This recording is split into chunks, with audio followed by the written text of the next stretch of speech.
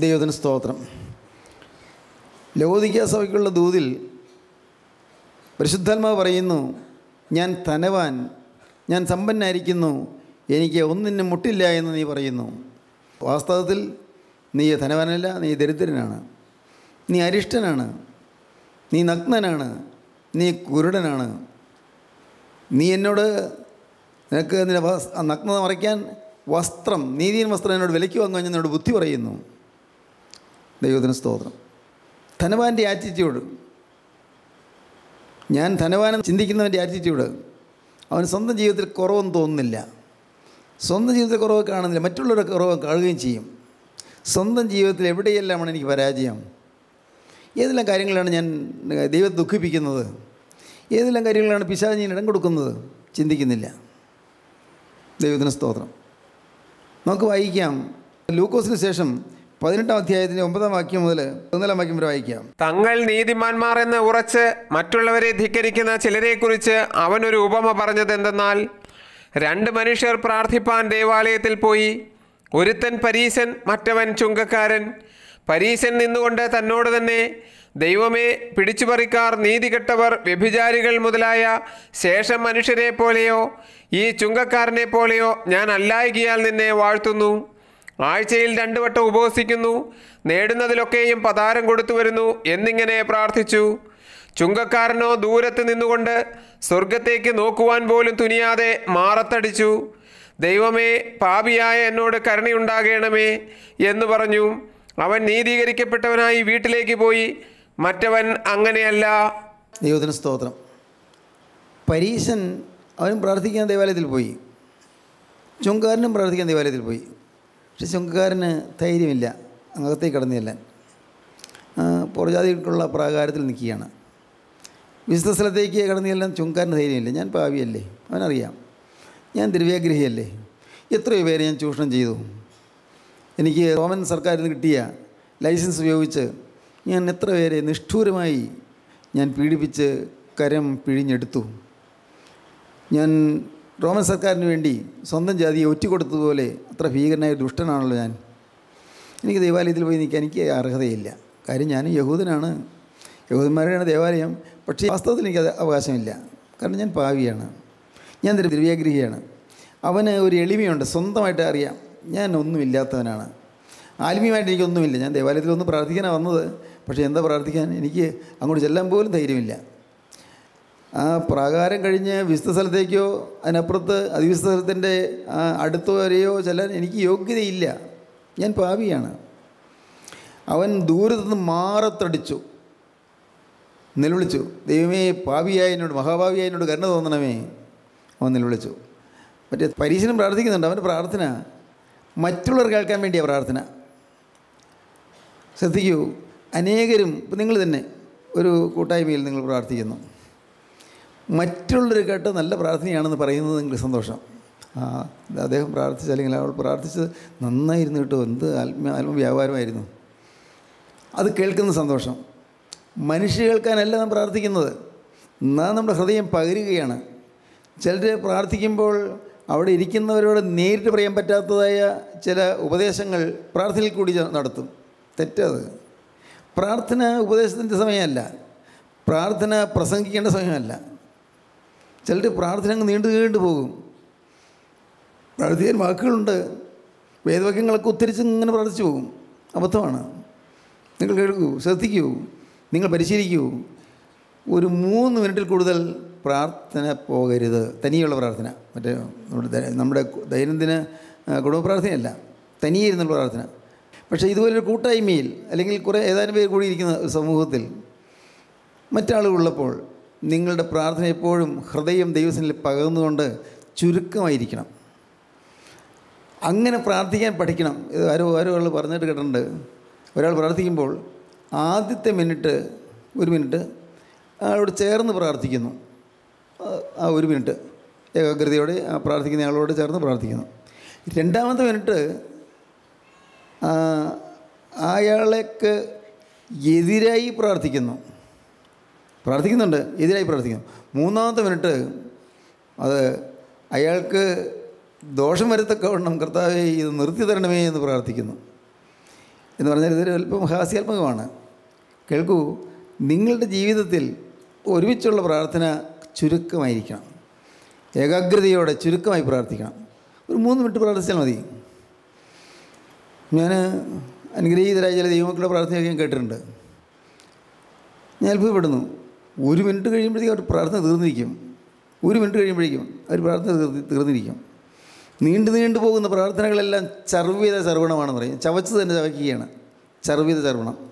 വെറും അധര വ്യായാമം ചുണ്ടുകൊണ്ടുള്ള ഒരു അധ്വാനമേ ഉള്ളൂ. നേരെ മറിച്ച് നമ്മുടെ ഹൃദയം പകരുന്ന പ്രാർത്ഥന. ആരെയും ഉപദേശിക്കാനല്ല മറ്റാരെയും താരതമ്യപ്പെടുത്താനല്ല മറ്റാരെ ആരുടെയെങ്കിലും കാര്യം പറയാനല്ല ഒന്നുമല്ല.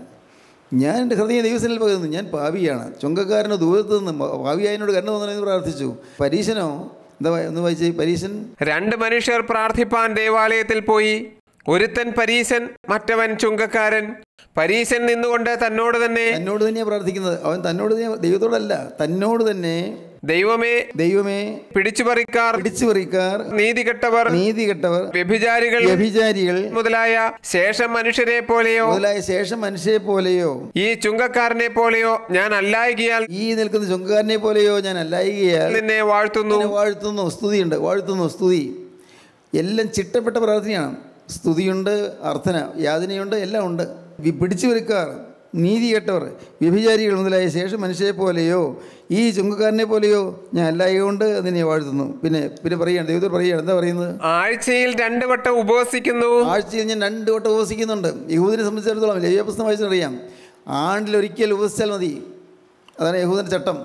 പക്ഷേ ഇവൻ പറയുകയാണ് അങ്ങനൊന്നുമല്ല. ഞാൻ അതിനൊക്കെ അപ്പുറമായിട്ട് ആഴ്ചയിൽ രണ്ടു വട്ടം ഞാൻ ഉപവസിക്കുന്നുണ്ട്. പിന്നെ നേടുന്നതിലൊക്കെയും പതാരം കൊടുത്തു വരുന്നു. സമ്പാദിക്കുന്നതൊക്കെയും അതിന്റെ വംശം ദൈവവേലയ്ക്ക് വേണ്ടി കൊടുക്കുന്നു അല്ലെങ്കിൽ ദേവാലയത്തിന് വേണ്ടി കൊടുക്കുന്നു ദേവാലയത്തിൽ കൊടുക്കുന്നു നേടുന്നതൊക്കെയും പതാരം കൊടുത്തു വരുന്നു. എന്നിങ്ങനെ പ്രാർത്ഥിച്ചു. ഇങ്ങനെ പ്രാർത്ഥിച്ചു. അവൻ പറയുന്നത് ഈ നിൽക്കുന്ന ചുങ്കക്കാരനെ പോലെയല്ല ഞാനെന്നാണ്. അവൻ താരതമ്യപ്പെടുത്തുകയാണ് ചുങ്കക്കാരൻ. അവൻ പാവി അവൻ എന്തറിയാം? അവൻ ആത്മീയം അറിയാമോ? അവൻ കൊള്ളരാത്തവൻ. അവൻ മനുഷ്യരുടെ പണം ഞെക്കിപ്പിഴിഞ്ഞെടുക്കുന്നവൻ. അവൻ ദുഷ്ടനായ മനുഷ്യൻ. അതുപോലെ എന്നല്ല ഞാൻ ദൈവം നിനക്കറിയാമല്ലോ. ഞാൻ അതുപോലെയല്ല ഞാൻ നീതിമാനാണ്.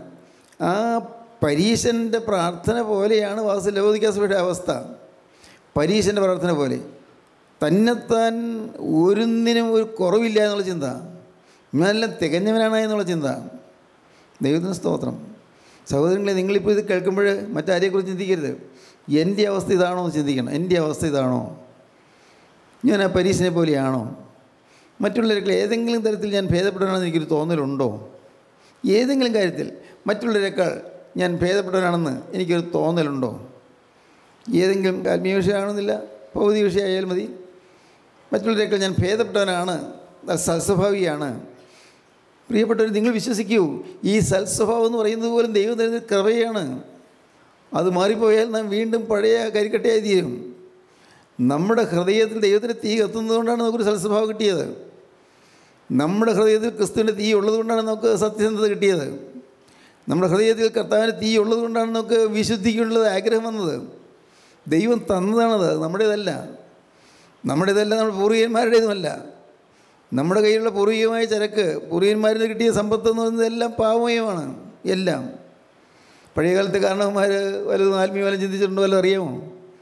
ഒന്നും പറഞ്ഞതില്ല പള്ളി പോകും ആണ്ടിലൊരിക്കൽ കുളിച്ച് മുണ്ടും മാറി കുമ്പസാരിക്കാൻ പോകും ഉച്ച കഴിഞ്ഞ് ഞാൻ ഓർക്കുന്നുണ്ട്. എനിക്ക് ഓർമ്മയുണ്ട്. ഞാൻ എന്റെ ചെറുപ്രായത്തിൽ ഞങ്ങളെല്ലാവരും കുമ്പസാരിക്കാൻ പോകും ഇപ്പോൾ കൊച്ചപ്പന്റെ അച്ഛനായതുകൊണ്ട് അച്ഛന്റെ കൊച്ചപ്പന്റെ അടുത്ത് കുമ്പസാരിക്കില്ല.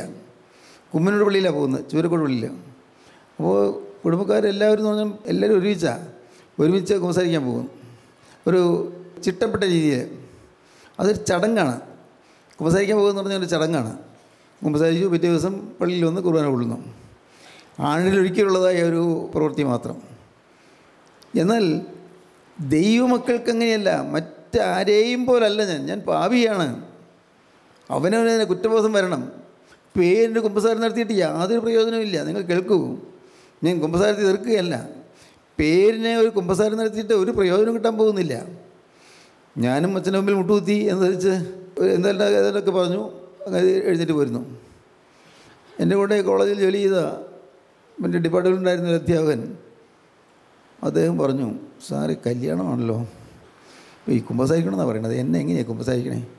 ഓ പള്ളിയിലുള്ള ആളാണ് നല്ല പഴയ പുരാതന തറവാട്ടിലുള്ള ആളാണ് പുരാതന തറവാട് പറയുന്നില്ല. സാർ എങ്ങനെ ഈ കുമ്പസാരിച്ചിട്ട് വേണം കല്യാണം കഴിക്കാമെന്ന് പറയുന്നു. എങ്ങനെയാണെന്നുണ്ടോ അത്? ഞാൻ ചെയ്തിട്ടില്ല. നീ പള്ളിയിൽ പോയിട്ടുണ്ടോ? എന്ന് ചോദിച്ചാൽ നീ പള്ളിയിൽ പോയിട്ടുണ്ടോ? സാറേ അതൊക്കെ ഈ പുറമേ കാണിക്കാൻ ചിലപ്പോഴൊക്കെ ഒന്ന് പോയിട്ടുണ്ടെന്നേ ഉള്ളൂ. എനിക്കതിലും താല്പര്യമില്ല. നോക്കൂ. അദ്ദേഹവും ചെന്നു കുമ്പസാരിച്ചു. കുർബാന കൊണ്ടു. എന്താ കുർബാന? എന്താ കുമ്പസാരം? ഒന്നും അറിയാൻ പാടില്ല. ഒന്നും അറിയാൻ പാടില്ല. ഇന്ന് എത്രയോ മൂഢതയിലാണെന്ന് നമ്മുടെ സമൂഹം പോകുന്നത്. മൂഢതയിൽ അബദ്ധത്തിൽ ദൈവസന്നിധിയിൽ തന്നെത്താനിരുന്ന് ഓരോ പാവവും ഓരോന്ന് ഓരോന്നായി എണ്ണി എണ്ണി കണ്ടുപിടിച്ച് ഓരോന്നും ഏറ്റു പറഞ്ഞ് ആ പാവങ്ങൾ പാവമുണ്ടായ സാഹചര്യം പാവത്തിൽ വേറെ ആരെങ്കിലും കൂട്ടുകൂടിയിട്ടുണ്ടോ? അതും എല്ലാം ദൈവത്തോട് രഹസ്യമായി ഏറ്റു പറഞ്ഞ് വേറെ ആരും കേൾക്കണ്ട. അങ്ങനെ ദൈവസനിലിരുന്ന് അനുതാപത്തോടെ കരഞ്ഞ് തകർന്ന് കർത്താവേ ഈ പാവങ്ങളെല്ലാം എന്റെ മേൽ ബന്ധനങ്ങളായി പോയല്ലോ. പിശാചിനെ കെട്ടിയിടാനുള്ള ബന്ധനങ്ങളായി പോയല്ലോ പിശാചിനെ കെട്ടിയിടാനുള്ള കയറുകളായി പോയല്ലോ. പിശാചിന്റെ കയ്യിലേക്ക് ഞാൻ ചങ്ങല കൊടുത്തതാണല്ലോ പിശാജ് ചങ്ങല കൊണ്ട് എന്റെ പാവത്തും കൊണ്ട് എന്നെ കെട്ടിയിട്ട് പോയല്ലോ. കർത്താവേ എനിക്ക് മോചനം വേണമല്ലോ എന്ന് പറഞ്ഞ് നിങ്ങൾ വാസ്തവമായി അനുഭവിച്ച് അങ്ങനെ പ്രാർത്ഥിച്ച് വാസ്തവമായി അനുതാപത്തോടെ നിങ്ങൾ കുർബാന അനുഭവിക്കുമെങ്കിൽ അത് അനുഗ്രഹകരമാണ്. വേണമെന്നില്ല അത് അനുഗ്രഹകരമാണ്. ദൈവത്തിന് സ്തോത്രം. ഞാൻ പറയുന്ന വാക്കുകൾ ഒരിക്കലും വിപ്ലവകരമായ വാക്കുകളല്ല കേട്ടോ. വിപ്ലവകരമല്ല. നമ്മുടെ അച്ഛന്മാർ വീട്ടിൽ പെരുകുദാശ നടത്താൻ വരുന്നു. വീട്ടുകുദാശ ഭവന കുദാശ ഹൗസ് വാമിങ് ഓക്കെ നല്ല വാക്കാതാട്ടെ ഹൗസ് വാമിങ് കുദാശ നടത്താൻ വരുന്നു. അപ്പോൾ അതിന്റെ പ്രാർത്ഥനാ പുസ്തകമുണ്ട് കയ്യിൽ ചൊല്ലേണ്ട പ്രാർത്ഥനകൾ ഇതെല്ലാം ഉണ്ട്. തന്നെയെല്ലാം ഒരു തൂക്കുറ്റിയൊക്കെ ആയിട്ട് ശുശ്രൂഷക്കാരൻ കൂടെയുണ്ട് ഏവങ്കലിയും വായിക്കും. ഈ ഏവങ്കലിയും വായിക്കുന്നത് എന്താണെന്ന് വീട്ടുകാരുടെ അറിയാറുണ്ടോ? എന്താണ് ഏവങ്കലിയും വായിച്ചത്? ഞാൻ ചോദിക്കട്ടെ. ഈ പെരുദാസിക്ക് വരുമ്പോൾ അച്ഛൻ ഏവങ്കലിയും വായിക്കുന്ന ഏതാണെന്ന് അറിയാവുന്നവർ എത്ര പേരുണ്ട്? പെരുകുദാസിക്ക് വരുമ്പോൾ അച്ഛൻ വായിക്കുന്ന ഏവങ്കലിയൻ ഭാഗം ഏതാണെന്ന്?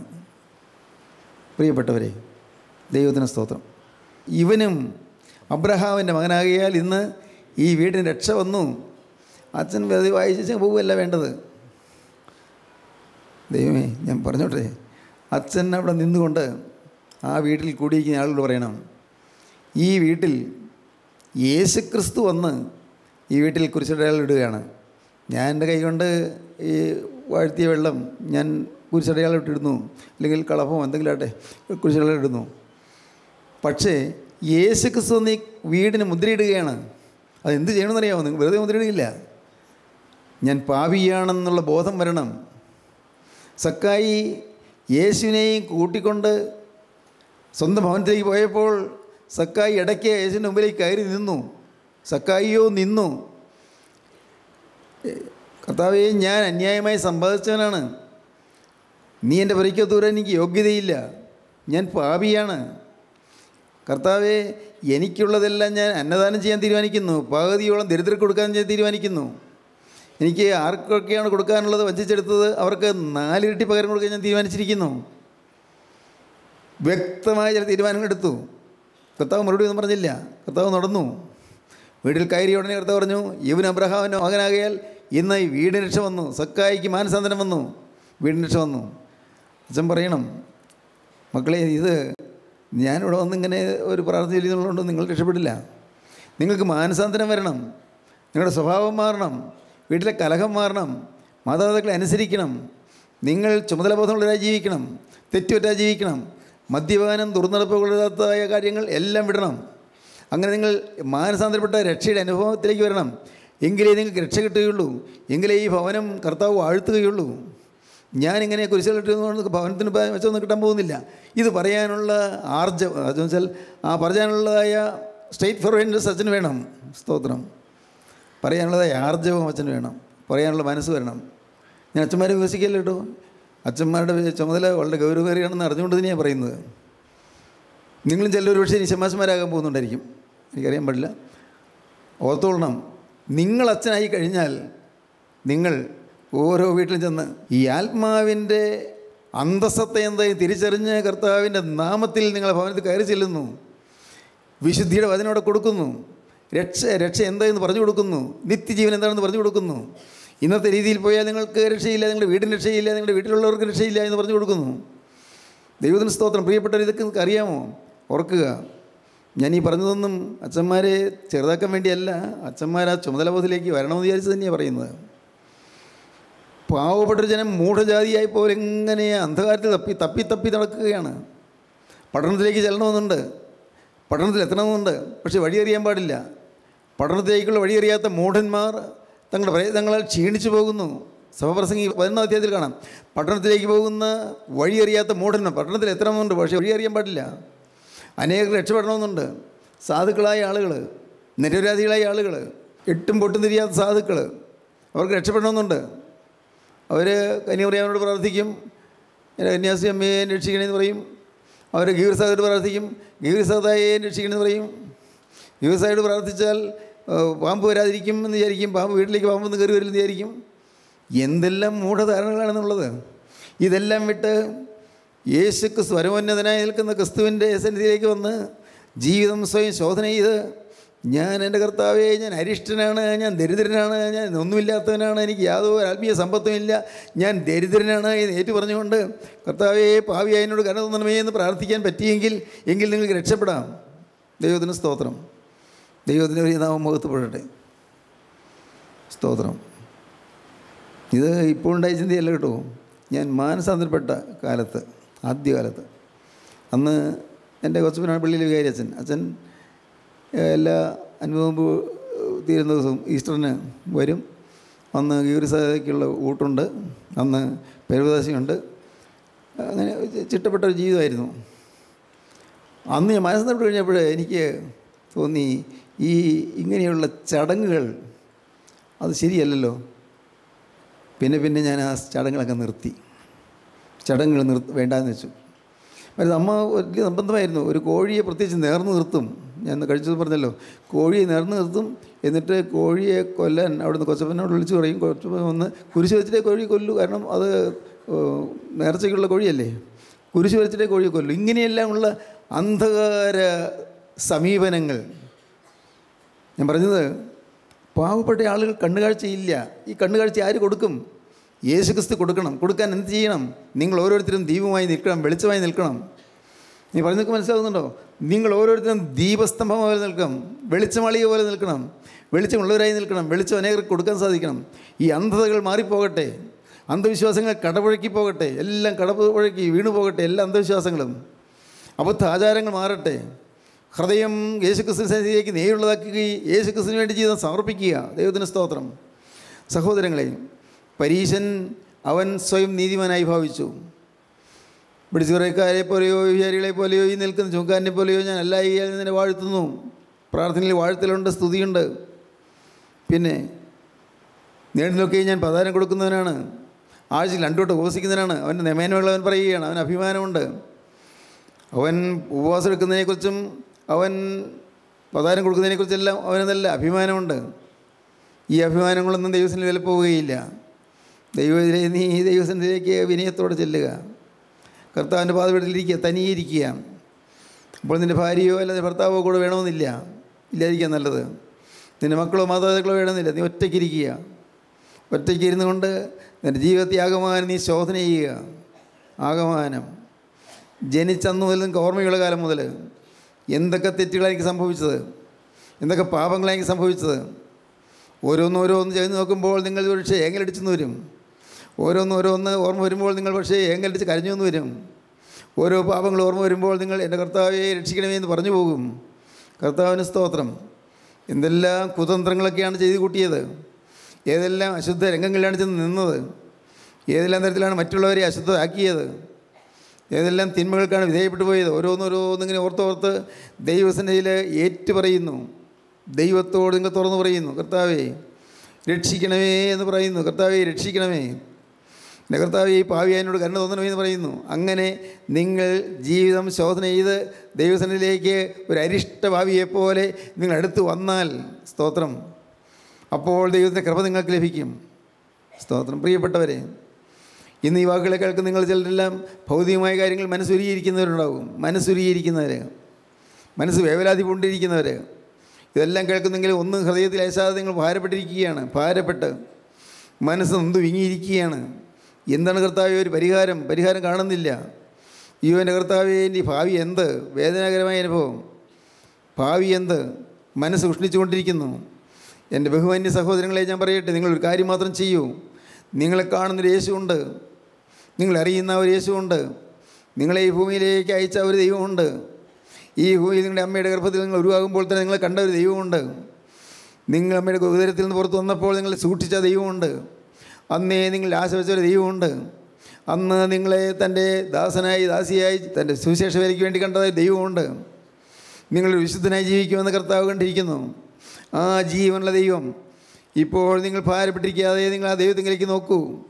വിശ്വാസ നായകനും പൂർത്തിവനായ യേശുവിനെ നിങ്ങൾ നോക്കൂ. യേശുവിനോട് പറയൂ കർത്താവേ ഞാൻ അനാഥനാണ്.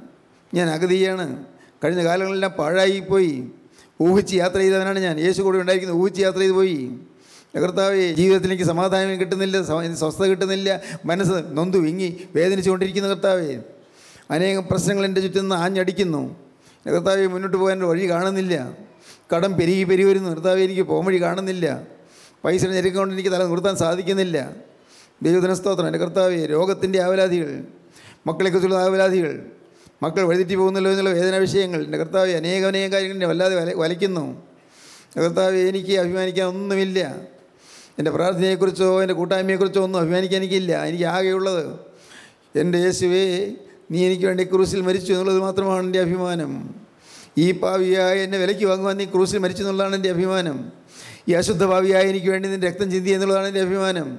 എനിക്കോ നമ്മുടെ കർത്താവായ യേശു ക്രിസ്തുവിന്റെ കുരിശിലല്ലാതെ പ്രശംസിപ്പാൻ ഇടവരരുത് അവനാൽ ലോകം എനിക്ക് ഞാൻ ലോകത്തിനും ക്രൂശിക്കപ്പെട്ടിരിക്കുന്നു. സ്തോത്രം.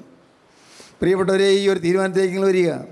ദൈവസനിൽ നിങ്ങൾ അനുദവിക്കുക ഓരോന്നോരോന്ന് ഏറ്റു പറഞ്ഞ് അനുദവിക്കുക കർത്താവിന് സ്തോത്രം. വിശുദ്ധിയുള്ളവർക്കും വെടിപ്പുള്ളവർക്കും മാത്രം കൊടുക്കുന്ന വിശുദ്ധത സ്വീകരിപ്പാൻ നിങ്ങൾ നിങ്ങളെ തന്നെ ഒരുക്കിക്കൊള്ളണം. ദൈവത്തിന് സ്തോത്രം. ഈ കുർബാന വിശുദ്ധിയുള്ളവർക്കും വെടിപ്പുള്ളവർക്കും മാത്രം കൊടുക്കുന്നു. വിശുദ്ധിയുള്ളവർക്കും വെടിപ്പുള്ളവർക്കും മാത്രം നൽകപ്പെടുന്ന വിശുദ്ധ കുർബാന.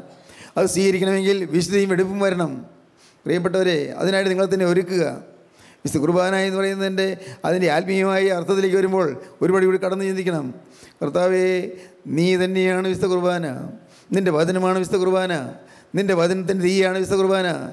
നിന്റെ വചനമാകുന്ന മന്നായാണ് കുർബാന. കർത്താവേ ദൈവത്തിന് സ്തോത്രം. അത് അനുഭവിക്കാൻ യോഗ്യനാക്കി തീർക്കണമേ. പ്രാർത്ഥിക്കുക പ്രിയപ്പെട്ടവരെ. നിങ്ങളുടെ ജീവിതത്തിൽ പുതുമ ഉണ്ടാകട്ടെ പുതിയ അനുഭവം ഉണ്ടാകട്ടെ പുതിയ അനു- അനുഗ്രഹം നിങ്ങൾ ലഭിക്കട്ടെ. എല്ലാം മറന്ന് നിങ്ങൾ യേശുവിനെ സ്നേഹിക്കാൻ തുടങ്ങുക. യേശുവിന്റെ കരങ്ങളിലേക്ക് നിങ്ങളെ കൊടുക്കുക. യേശുവിന്റെ വാക്ക് പറയുക യേശുവേ ഇന്നിതാ ഞാൻ മഹാഭാവിയായി തിരുമ്പാ വന്നിരിക്കുന്നു. കർത്താവെ ഞാൻ ധനവാനെന്ന് ഞാൻ ധരിച്ചു. ഞാൻ സമ്പന്നനെ ഞാൻ ധരിച്ചു. കർത്താവെ ഞാൻ ദരിദ്രനാണെന്ന് ഞാൻ അറിഞ്ഞില്ല. എന്നോട് നീ ക്ഷമിക്കണമേ. ഇന്ന് ഇതാ ഞാൻ എന്റെ ജീവിതം തൃപ്പാദങ്ങൾ ഞാൻ സമർപ്പിക്കുന്നതിനെ വിശുദ്ധീകരിക്കണമേ.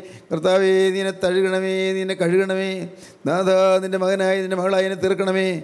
യേശുവെ എന്നോട് മനസ്സിലെയ്യണമേ നിങ്ങൾ പ്രാർത്ഥിക്കൂ ദൈവകരങ്ങൾ കേൾപ്പിക്കൂ. ദൈവത്തിന് സ്തോത്രം നമുക്ക് പ്രാർത്ഥിക്കാം. കാരുണ്യവനായ ഞങ്ങളുടെ സ്വർഗീയ പിതാവേ ഈ മനോഹരമായ സമയത്തിനായി ഞങ്ങൾ നിന്നെ സ്തുതിക്കുന്നു ഞങ്ങൾ നിന്നെ സ്തോത്രം ചെയ്യുന്നു. അപ്പോൾ ഈ വചനം കേട്ട് എല്ലാവരെയും അനുഗ്രഹിക്കണമേ. എല്ലാവരുടെ മേലും തീർക്കാനും വയ്ക്കണമേ.